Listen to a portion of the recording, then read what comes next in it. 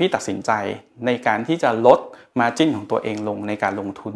วันนี้เรามองว่าโอเค เราอาจจะลอสหรือเราอาจจะกำไรนิดหน่อยไม่เป็นไร แต่เราต้องอยู่รอดตรงนี้ไปให้ได้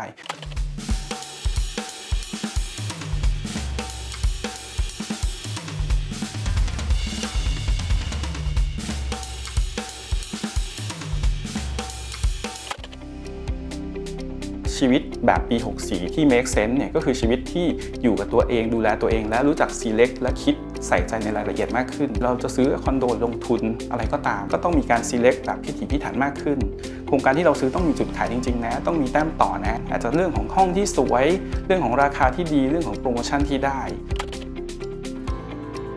คำว่าโควิดเนี่ยมันคือเรื่องของการเปลี่ยนแปลงในเรื่องของวิธีการใช้ชีวิตเร่งให้เราได้กลับมาอยู่กับตัวเอง และใช้ชีวิตได้แบบไม่ประมาทเหมือนในอดีต เราก็ต้องมาปรับแล้วก็ต้องมาเรียนรู้ แล้วก็อยู่กับมันให้ได้ ช่วงที่ล็อกดาวน์เมื่อสักประมาณปีที่แล้ว มานั่งโฟกัสตลาดว่าตลาดเป็นแบบไหน พี่ตัดสินใจในการที่จะลดมาจิ้นของตัวเองลงในการลงทุน กับบางโครงการที่พี่รู้สึกว่าเฮ้ยพี่ควรจะขายมันออกไป ปรากฏว่าพอเราเปลี่ยนวิธีคิดในการปรับตรงนี้ลงมา มันก็มีคนรับไปค่อนข้างเยอะ ในทุกๆวิกฤต มันก็มักจะมีโอกาสเกิดขึ้นเสมอ ข้อดีของ Buyer ในวันนี้ก็คือ Developer อาจจะมีการทำโปรโมชั่นหรือลดราคาลงมา ตรงนี้เป็นจุดที่น่าสนใจ อาจจะมีราคาที่เฮ้ยสมเหตุสมผลมากขึ้น น่าสนใจมากขึ้น การทำโปรโมชั่นระบายสต็อกเตไดออกมา ปรากฏว่า ทุกครั้งเนี่ยที่ทำออกมาก็มีคนรับเอาไป แปลว่าจริงๆ วิกฤตนี้ไม่ใช่วิกฤตที่มันยิ่งใหญ่เกินไปนัก ไม่ใช่ว่าของชิ้นนี้โยนให้ใครก็ไม่มีใครเอา ชิ้นนี้เคยราคา 10 บาท วันนี้ลดลงมา 9 บาทปรากฏมีคนรีบคว้า ซึ่งนี่คือคำตอบที่ที่น่าสนใจ เพราะคนเหล่านั้นก็จะมองว่านี่คือโอกาสของเขาในช่วงเวลาวิกฤตเหมือนกัน ถ้าเป็นโครงการแบบ ready to move หรือโครงการสร้างเสร็จพี่มองที่ราคาเป็นตัวหลัก แต่ถ้าเกิดสมมติเป็นโครงการแบบ pre-sale ที่ กำลังจะเปิดขาย แล้วโครงการจะเสร็จใน next 3 ปี 4 ปีข้างหน้า พี่มองว่าส่วนหนึ่งที่น่าสนใจก็คือเรื่องของ term payment term payment จะทำให้เรามีแต้มต่อในเรื่องของการ invest พี่ไม่ได้มองว่ามันลดลงไป มันยิ่งกับกลายเป็นความท้าทายที่ทำให้เราสนุก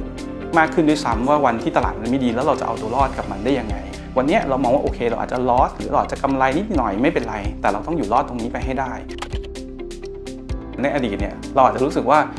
การมีคอนโดในเมืองเนี่ยมันคือเรื่องที่แบบโอ้ตอบโจทย์วิถีชีวิต วันนี้วิธีคิดมันอาจจะเปลี่ยนไป เราอาจจะทำงานที่บ้านกันมากขึ้น ต้องไปเลือกที่อยู่อาศัยที่มันแมทหรือเหมาะกับชีวิตของเรา